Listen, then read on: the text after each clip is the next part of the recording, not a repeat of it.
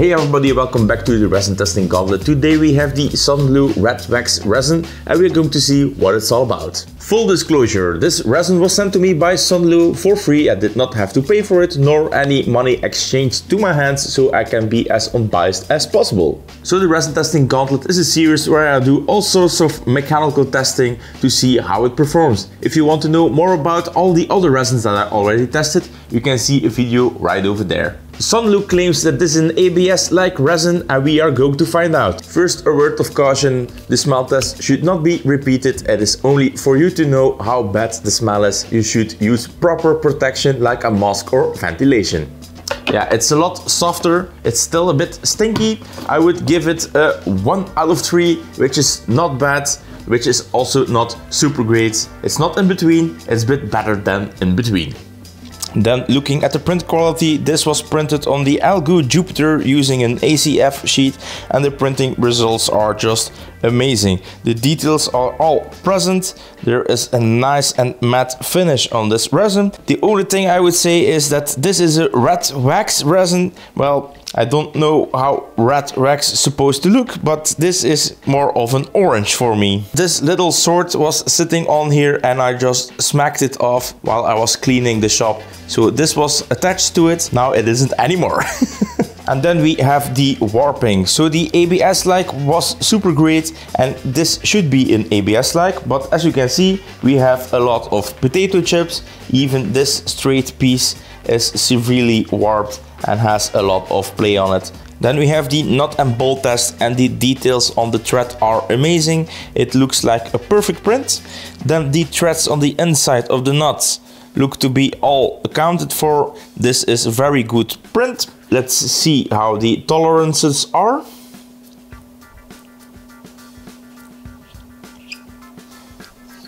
Yep, perfect tolerances. This is a great print with great tolerances, all details are present. So this is a very nice printing resin. So far, this seems to be a mixed bag. We have great printer resolution, we have great details on this one, we have great details on the nut and bolt, but we see some warping, which for an ABS-like resin, yeah, seems to be a bit strange. Now one thing I failed to mention in the beginning was that there were two types of exposures on these tests. So we have the regular one and that is with the not the bolt test that worked perfectly. This was also correctly for this one.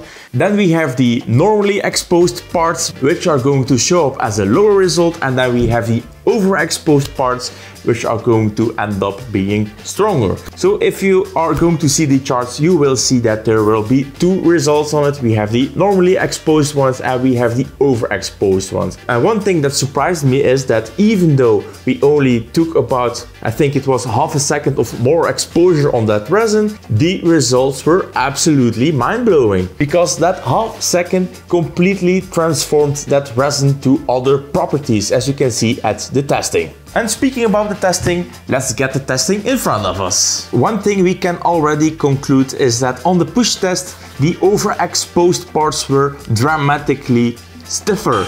And you can see it in the footage that those parts were actually breaking under load and that the parts that were correctly exposed, so the ones from the nut and bolt test, didn't break and just flexed like the regular ABS-like. Now one big difference between the regular ABS-like and the red wax is the results. So we have the regular Sunlu red wax with the regular exposure and we get a result of 124 Newton. Now if we overexpose it with half a second we get 140 Newton of strength in the bending test and those parts were breaking.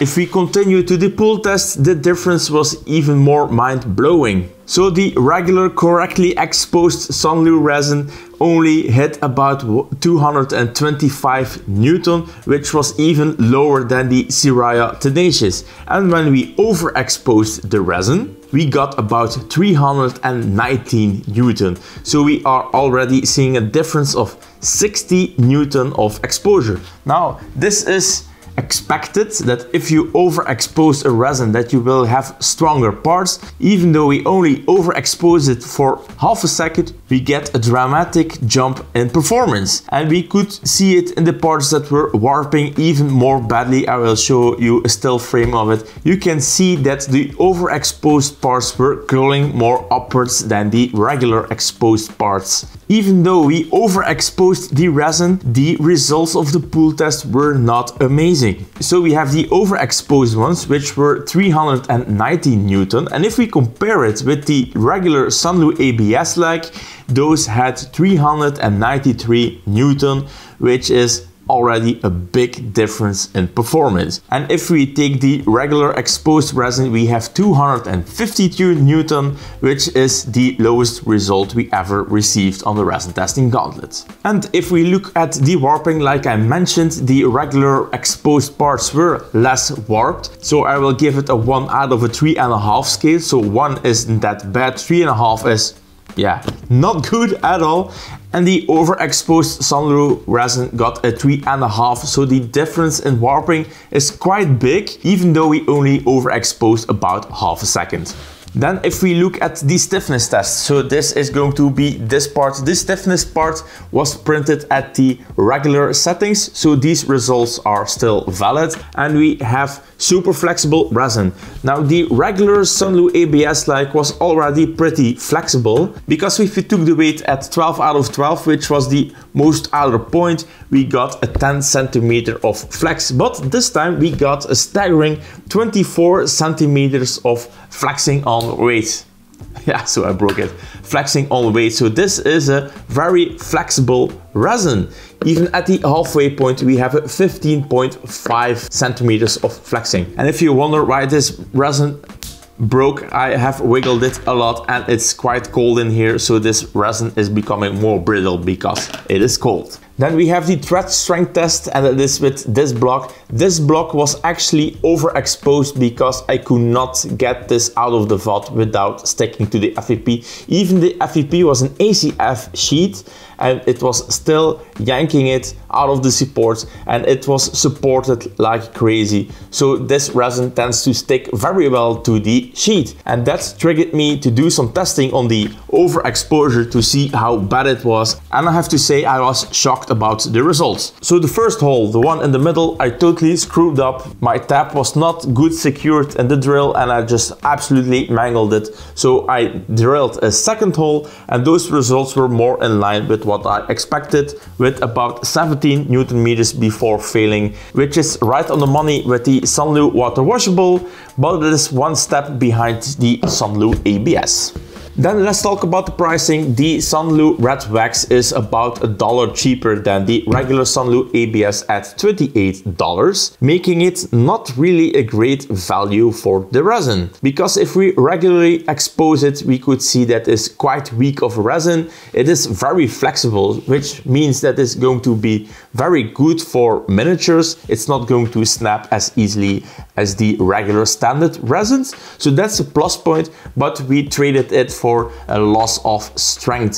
And even if we overexpose it, we could see a diminishing return in flexibility. So if you are going to overexpose it, you will be getting stronger parts, but they will break more easily. Now, would I recommend you to get this Sunlu Red Wax resin? I would say only if you are looking for flat prints. And with flat prints, I mean this color that this resin is providing you is very unique. It is a very flat of a color. I really enjoy the color of it, but it comes with the downside that it seems to be down on the mechanical properties. And if we compare it with the Sunlu ABS like, so this was printed with the Sunlu ABS, we can see that the color of the red wax is quite a bit duller than the ABS like. So if you are looking for super flat prints, then this is going to be just the resin for you. If you are looking for the best combination of flexibility and strength, then I would go for the Sunlu ABS like. We have done all the testing and now we know more about the Sunlu Red Wax. And I am very interested in your suggestions what you think about the overexposure test if I should do it on every resin or if you are thinking that this is not important and I should just use the regular normal exposed settings. So this resin testing was really interesting. We could see that overexposing resin adjusted the capabilities of a resin. So that makes me wonder how valid my testing is so far, because if I don't nail it every time these settings, then we will see some fluctuations in the numbers, in the flexibility, in the tapping and all of that. So like I always say, take my numbers with a grain of salt and use them just to get a basic idea on how these resins act on mechanical stresses. That's gonna be it for me. Sound off down in the comments what you thought about the overexposure and if you want to see those montages of the testing that I do with the pull test, with the push test, the bending stuff, I will start cutting into it. I'm going to leave them out of the video because editing those pieces of video are taking a long time and I can see a huge dip at that part. So sound off in the comments down below if I should keep it or if I should remove it and show you some flashes of it. And before you go, I have a lot of other videos that you can watch right over there. We have a complete resin testing gauntlet, resin many, many resins and all those resins are right up front of the closet. We have tested, I think it's now about 12 or 13 resins. I still have two other kinds of resins waiting for the testing and I am making a huge build. Wait, I'm going to spoil you something. I am actually making something huge. This is going to be so fun to build and it's going to smooth our lives. Alright, thank you for watching guys and I see you in the next one.